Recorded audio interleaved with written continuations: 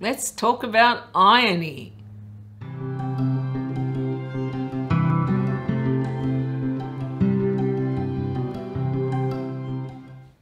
G'day to all you lovely people and welcome back to my channel. I'm Kathi and today we are here to talk about this. Turncoat, Book 11 in the Dresden Files by Jim Butcher. Mm-mm. The title I think is a dead giveaway what this book is about. So many things, so many thoughts I have about this book. Good and bad, I will admit it. Just like the last few reviews, this one will be split into three. Without spoilers, with spoilers, and a summary at the end.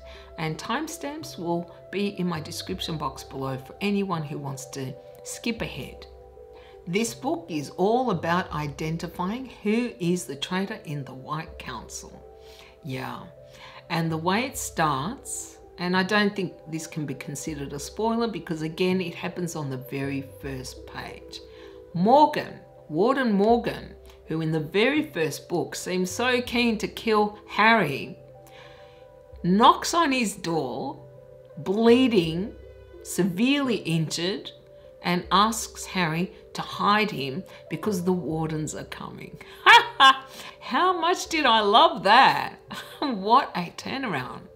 This is the man who was always so overzealous in his duties always seemed to just have one view of the world.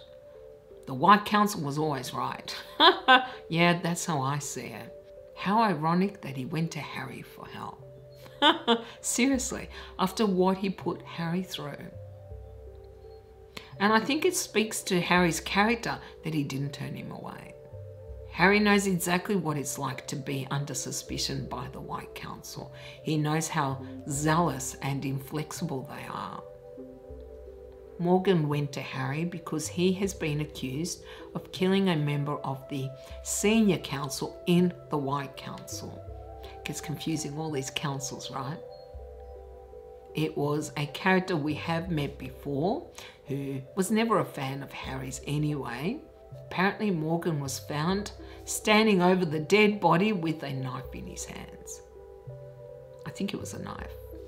Naturally, most of the book involves Harry's investigation into what actually happened. Did Morgan commit this or did someone else? Morgan has no recollection of what happened. Or so he tells Harry. And because the wardens are looking for Morgan, Harry agrees to hide him in his apartment, his tiny little apartment. Given how much power the White Council has, how integral they are to Harry's life, how important a group it is in the books, I really enjoyed finally getting to know some of the members on the senior council better. Characters like Listens to Wind. I don't think we even saw much of him in previous books, or The Gatekeeper, or Ancient Mai. We also see Lara of the White Court, and I'll get into how she's involved at some point. And we also see Billy and Georgina, part of the wolf pack. I had actually missed seeing them because I always felt that they are part of Harry's inner circle and yet they haven't really appeared, I think, in the last few books. So it was good to have them play a larger part in this book. We also meet a new monster as such, a shapeshifter, who seems quite powerful actually, as they always do when we first encounter him in a book. As part of Harry's investigation, he spends a bit of time in Edinburgh, in the stronghold, I guess, of the White Council we get to see this stronghold in detail, as well as many of the occupants.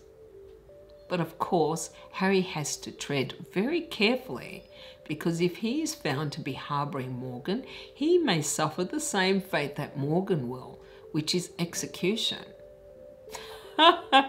I love that Harry calls him the ostentatory. I thought that was so clever and so perfect a name. And during Harry's time in Edinburgh, we actually learn a lot more about the political forces that shape the White Council, that affect the White Council. Apparently, the senior member of the council that was killed was a supporter or advocate for countries that didn't have as much clout as, say, Western countries. And some members of the White Council feared that the murder was politically motivated. It was to get rid of their support in the senior council. I'm not sure if this is a spoiler or not, but we learn, I think, fairly early on that the council may not care all that much about whether Morgan committed this crime or not, but rather what the political ramifications are. I found that very hard to swallow. I'll confess. I know that this is how politics works. I know that this is how groups stay in power. Political parties are a prime example. However, doesn't mean we have to like it, right? And I certainly did not like it. My innate sense of justice just said, no, if he's innocent, he should not be sacrificed. And yet it seems that members on the senior council who I thought were fair and just don't really care. And there was a lot of talk in this book about the laws of magic and that justice and fairness has nothing to do with them. Okay. if you sacrifice what is just because it is politically expedient, it's still wrong on so many levels, if you ask me. I don't think that should be even a consideration it should not come down to what is politically expedient. It should come down to is this the right thing to do or not? I think any group, whether it's the White Council, a political party, or anything, has to have some moral sense, some moral principles that they abide by. And if they don't, then it all comes down to them just wanting to retain power. I know I went on a tangent there, but I'm a little frustrated with the political parties in Australia. Have been for quite a long time, and I think the White Council reflects that. And not unexpectedly, I did not accept their political reasons for wanting to sacrifice someone who might have been innocent. I once again decided this council has to go. yeah, it really, really does. It is so much guided by political factions, self interest, and not for the good of the whole. I cannot believe that the White Council was invented for what it has now become, in this book anyway. They are an elitist group too, which offends me. If you don't have enough power as a wizard, well, then you can't be a member of the White Council. yeah. And yet, my recollection is that they still feel they have the right to get involved with non members. The hypocrisy of this group, yeah, it really needs to change dramatically. I'm starting to wonder if Harry is going to be instrumental in that. I really hope he is. He also is the one who set up the Paranet something that was necessary, something the White Council should have done. I know, I know, I keep straying from the point, but I get very worked up over the council. Now I'm going to talk about things that I liked and things I didn't like, and I'm going to start off with those I didn't like. The trader. Hmm. I was so disappointed. That is all I can say in this section of the video but I felt that that was a major cop out. I can't tell you why, I really can't, but that for me was a major, major misstep, I thought, by Butcher. He hasn't done many in this series of books, and I've read 13 so far. I'm very curious to see if other people felt that way. I've said it already the arguments as to why Morgan should be sacrificed, whether or not he was guilty, did not hold water for me. And that isn't a criticism as such of Butcher. This is how he has decided to set up this White Council. But I thought their arguments were weak and unconvincing. This shapeshifter character. I don't know how necessary he was to the story. He was something new, yes, but I didn't feel it was necessary. There was enough going on with the politics, with the investigation, with the White Court, with members on the council that I honestly felt that creature could have been left out and it would have been enough for me. But perhaps he was necessary for another part of the plot, which involved the White Council and Thomas, and that's all I'm going to say. So now let's talk about what I did like about this book. Mm. I really loved seeing the White Council in action, up close and personal, getting to know some of these members on the senior council better. I also really liked seeing how Molly has developed, which she has. She is slowly growing into her power, maturing also as a person. I love how protective she is of Harry. And the frozen tableaus when he finds everyone at each other's throats. Oh, that was hysterical. I thought they were really funny, actually. and also, I guess, not unexpected given the characters involved. And Mouse, oh my God, Mouse. I love this dog so much. Wow. I hope nothing ever happens to him because I will be bawling my eyes out. But Mouse just killed it for me in this book.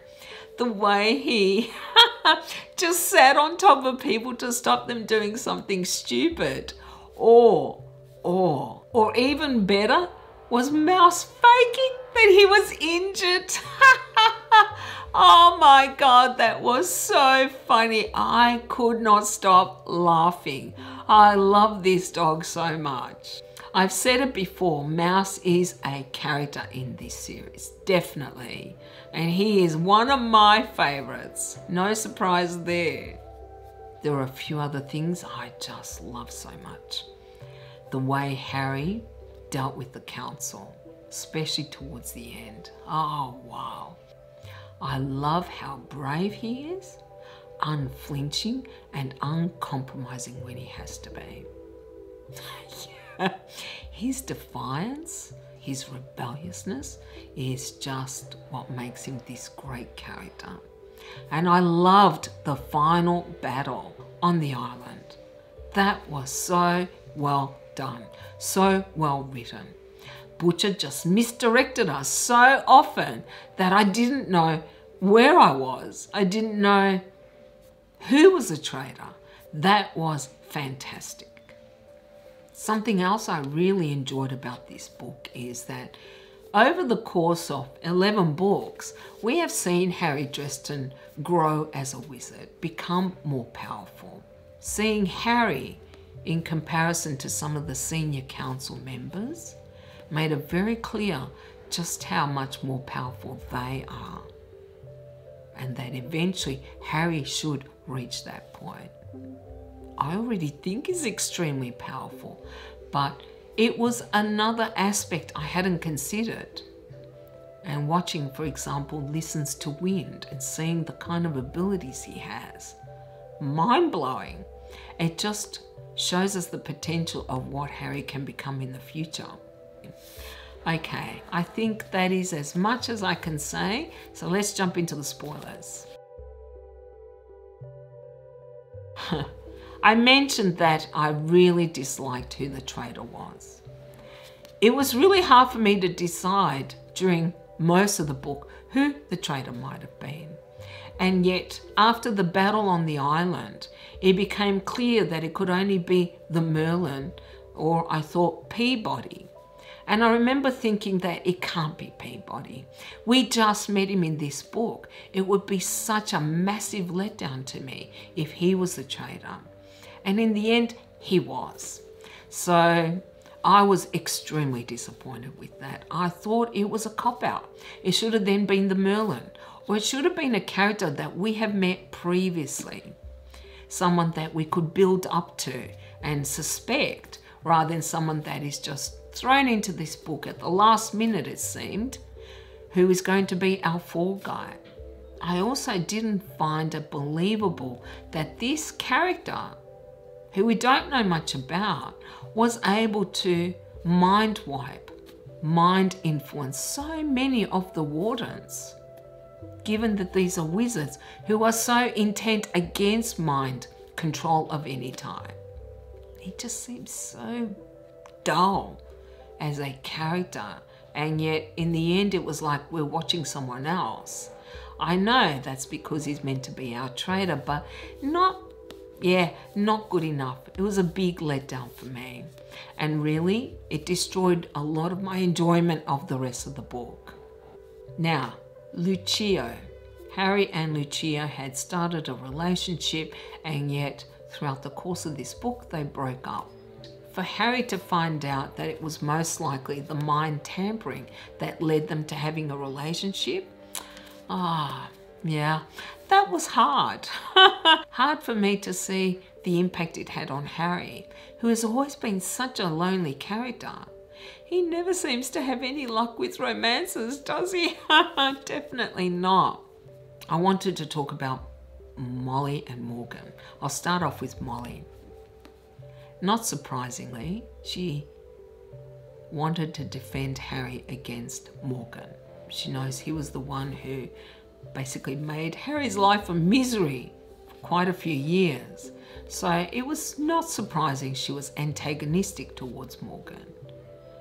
And that the two of them constantly got into these arguments where Mouse had to intervene.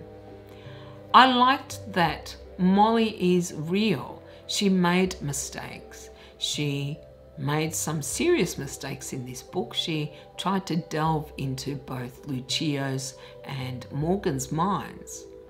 It was an indication that this character is still developing, that she still hasn't quite grasped that even that is unacceptable.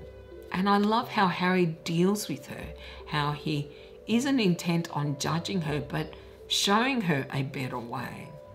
They have a great relationship, and I'm so enjoying seeing it develop. It seems very realistic to me. It seems very honest relationship. Harry is tough when he needs to be, but he also has a huge amount of affection for her. Does Molly feel more for Harry? I suspect she does. But regardless of whether they end up in a romantic relationship, I think they have a much stronger bond. You would, actually. He has taught her so much, but she has also taught him. She has helped him develop his skills as a wizard. And it's interesting to see Harry also develop and realize that, wow, I can do this better because I've shown it to Molly and I realized that there is a better way of doing it. Morgan, hmm, we all know how hard-lined Morgan is, how unforgiving he is of any, even the smallest mistakes. However, even though Morgan is not an easy person to like, I don't think he was meant to be liked. To me, he has always been a zealot far too inflexible. Though I did feel for him when it became apparent he had feelings for Luccio, who had never encouraged that in him, and yet she had a romantic relationship with Harry. That made him more human, I guess. It also explained in part why he was so cold and closed off, which he definitely was throughout the series.